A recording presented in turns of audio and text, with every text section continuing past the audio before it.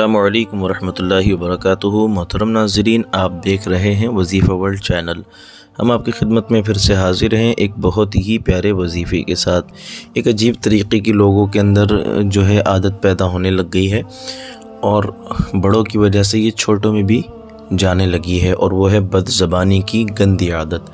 यानी कि ज़बान का गलत इस्तेमाल करना, अपने लहजे से, अपने लफ्ज़ों से लोगों का दिल तोड़ना या फिर उनको तकलीफ़ पहुँचाना। तो ऐसी बहुत सी शिकायतें आई कि जो है हमारे घरों के अंदर हमारा भाई, हमारा शोहर, ये सब ये बदज़बान है हमारा बच्चा बदज़बान हो गया है। गालियाँ उसकी ज़बान पर रहती हैं और उसकी ज़बान पे मतलब बुरी, बुरे कलिमात रहते हैं, गंदे कलिमात रहते हैं।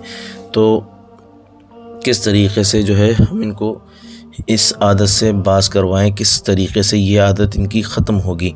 तो उनके लिए ये जो सूरत है, मैं एक वजीफ़ा बता रहा हूँ। कुरान पाक की तीसवें पारे की ये सूरत है। व शम्स जिसके शुरुआती कलिमात ये हैं बसमीम व शमसी व दुहा वलक़मरी इज़ा तलाहा नहारी इज़ा जल्लाहा वल्लैली इज़ा यगशाहा।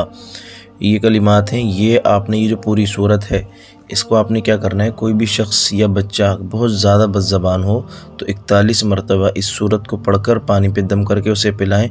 इन शज़ीज़ उसकी बदज़बानी ख़त्म हो जाएगी और उसके किरदार और सीरत में पाकिजगी पैदा हो जाएगी। ये आप तब तक करते रहें। तकरीबन 11 दिन तो करें करें ये अमल। 11 दिन तक 41 बार किसी भी वक्त पढ़ के पानी पे दम करें और उसको पिला दें, जिसकी बदज़बानी, जिसकी ज़बान से गालियाँ या फिर गलत बातें या फिर गंदे कलिमात आप ख़त्म करवाना चाहते हों, ताकि वो अपनी पाक सीरत के साथ ज़िंदगी गुजारे।